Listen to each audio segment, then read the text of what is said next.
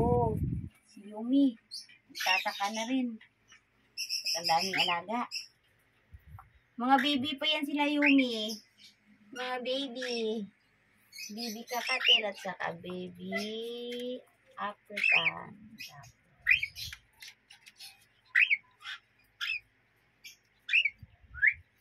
So, mag 2 months na yan. Kakatil. Ang lalaki na. Itong mga sisiw na ito, nag-isa, wala pa isang buwan, no?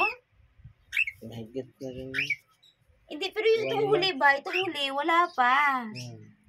Yung One yun, month. mga one month. Yung ganito. Hindi pa nga marunong maglipad eh. Halika, ang cute mo. Ang cute kasi ng magulang nito. Ito tayo siya. Ito, ang cute-cute niya. Hmm. Ang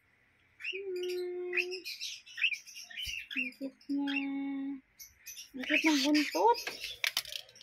Oh. Oy, Ayan, apakan niyo, panganay. oh. Ito yung Ah, panganay ah. hihingi siya ng pagkain. Baby din yan. Si Yumi. Ano ba yan, Melon? si Yumi, nagtataka na si Yumi. Yumi, ano yan? Mga baby pa yan, Yumi, ha?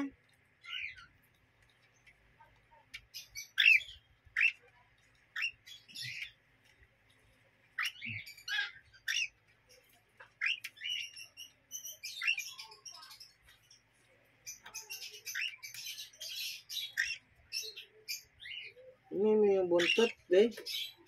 Yun yung ibukad mo. Itong isa, kay pula. Ito, oh. ilagay. Yan, Yan lang yung buntot, ah. Hmm. Diretso pula. Yan buntot niya. Nakakatuwa. Pati yung Isa. isang isa, ganun din, ah. Yung isa parang orange. Ano ba yung Si Melon, nandun na sa ulo ko. Sakay sa ulo. Sakay. Ano? Yan, ang ganda niya. Be, ay, wag yun.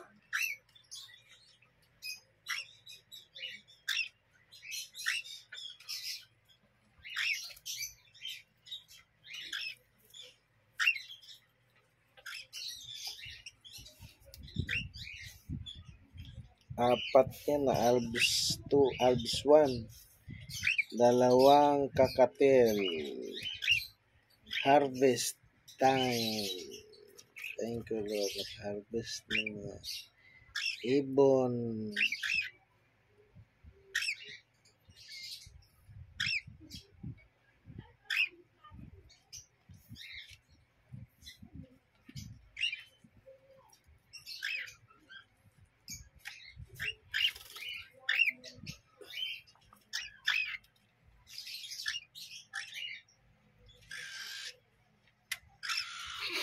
Kinakain. Naglalaro.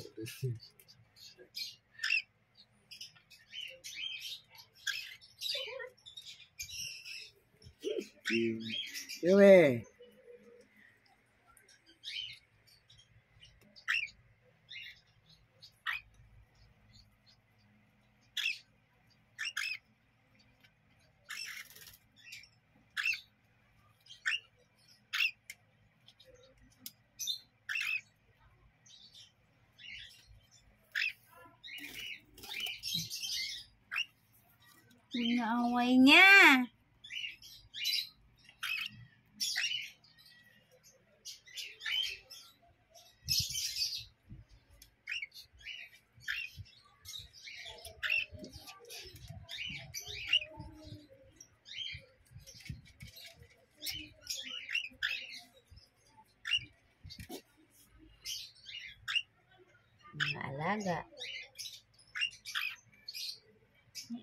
ang pangit na itong cellphone ko ba?